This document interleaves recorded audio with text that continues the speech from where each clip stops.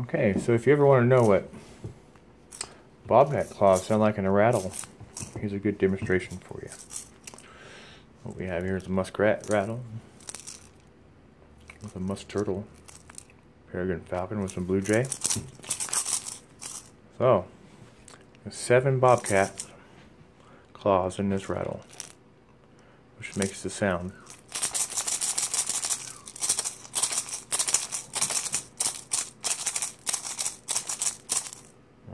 So here's the bobcat claw. And I have multiples of four sevens of these in there to make the little tiny rattle sound. So, it sounds rather nice. Depends if you like bones or rocks. But, so,